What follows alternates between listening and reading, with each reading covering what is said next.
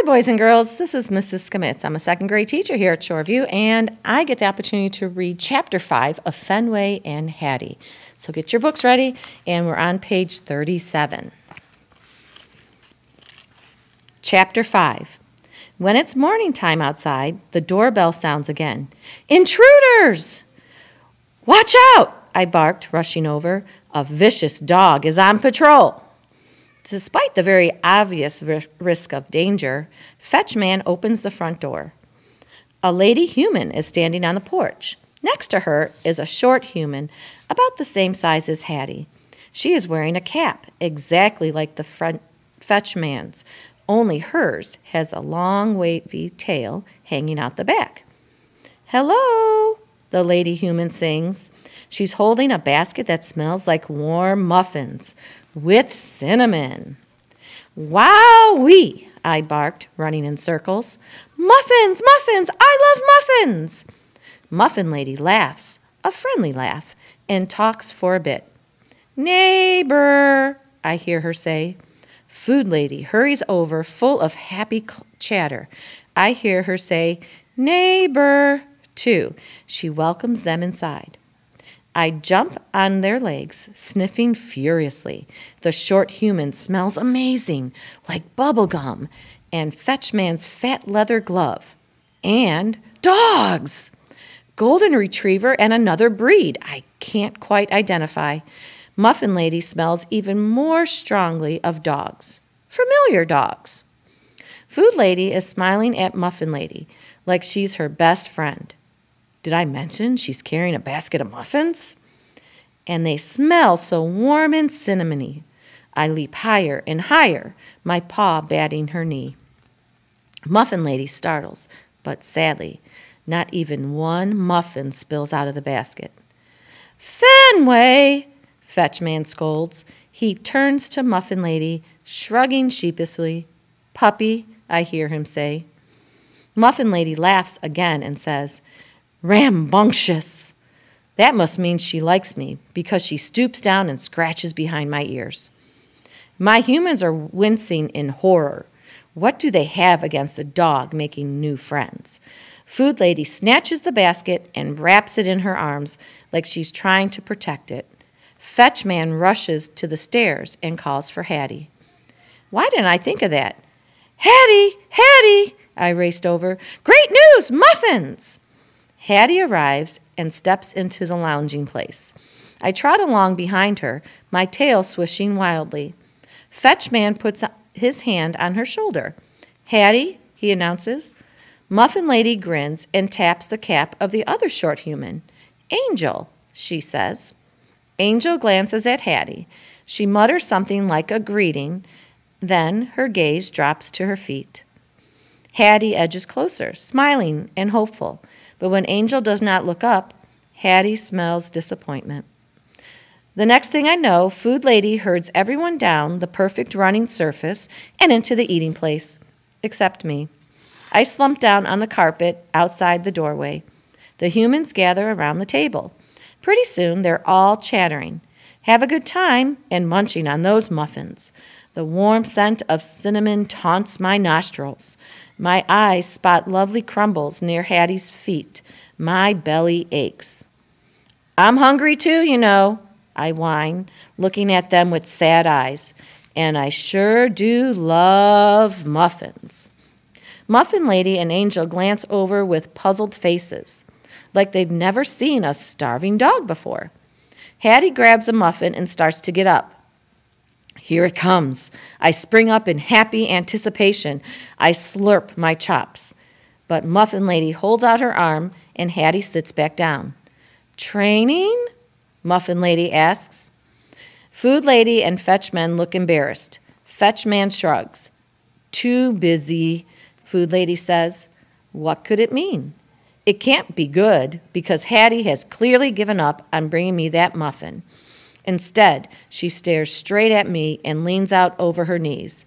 Fenway, she calls in a sweet voice. Whoa, is she nuts? Does she actually think I'm going to run onto that wicked floor? I slink back down and lower my head, my gaze firmly on my short human. Muffin Lady pats Hattie's arm and nods in approval. Hattie holds out a chunk of muffin. Fenway, she calls even sweeter this time. That muffin looks so yummy. I sink, sink down deeper into the cushy carpeting, my tummy empty and rubbling. This is not how my Hattie behaves. She's supposed to be to bring it to me. It's all so horrible. Plus, they're having fun without me. There must be something I can do. I get up and wander around, trying to think.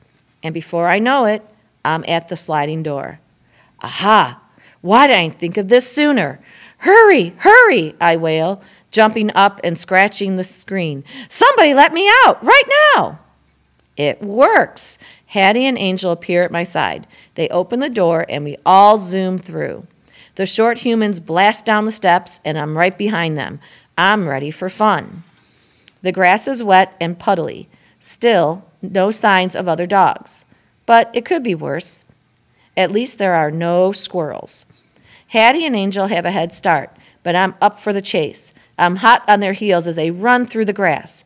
Of course, I'd rather be chased than being the chaser, but sometimes it's okay to mix things up.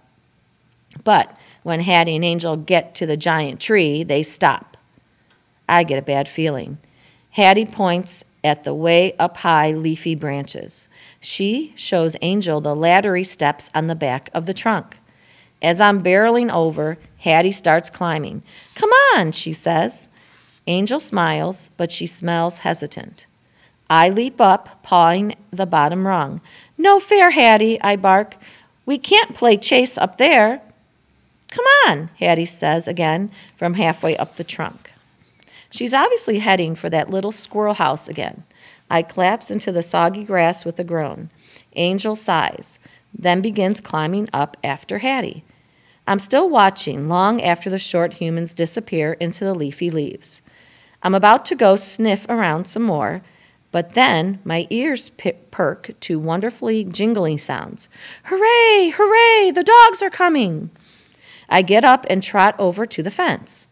Through the slats, I see two of them romping around in the dog park next door. Um, hey, hello, I call. The dogs stop mid romp and gallop over. Fenway? says the white one in her lovely voice. I told you he'd be back, said the golden. Sure enough, it's those same two ladies. Are they the only two visitors to that dog park? And why don't they have why don't they come to this one? Great memory, I say. So, uh, have you two been coming here for always? They exchange glances, then they look back at me. What do you mean? We live here, Goldie says. I cock my head. You live in a dog park? Goldie gets an irritated look and opens her mouth. But be- before she can answer, Patches says, Was that our short human you were trying to chase just now? What? No, it was mine, Hattie, remember? Oh, we remember, Goldie says with a growl. How did you say it? Super best friends? You do everything together? Isn't that right? Patches rolls, rolls her eyes at Goldie. Then he turns back to me. I mean, Angel. Wow, she's your short human? No wonder she smelled like golden retriever and whatever kind of dog Patches is. Well, she used to be, Goldie said. I looked at her sideways. Isn't she still? Technically, yes, but things change. Patches lowers her head. In the beginning, she was fun, a lot like your Hattie. We walked to the river and play fetch. I believe it was the pond, and we played frisbee, Goldie corrects. Fact is, Patches says, a faraway gleam in her eye, she used to be great. I thought she would always stay that way. Goldie scowls. I knew it wouldn't last. As I recall, you were awfully fond of her, Patches says. We both were. She had a lot of potential, like most short humans, Goldie said. It's so tragic, Patches says. Short humans never stay interested in anything for very long. Sad but true, Goldie huffs. They go from one thing to another without even looking back. Nowadays, she acts like we're not even here, Patches says, a little yelp in her voice. Goldie paws the ground. She's totally forgotten about the good times we used to have. Gee, that's such a bummer for you. I say. But not all short humans are like that. Hattie's different. Goldie snorts. Are you sure about that? You don't know her. She's completely devoted to me. I insist. She's the best short human ever. Maybe that's how it was before, Goldie says, drawing out the last word, but it doesn't look that way now. What are you talking about? I say, but when I gaze up into the giant tree, I have my answer. Hattie's smiling face is poking out of the squirrel house window without me, and a massive boulder crushes my heart.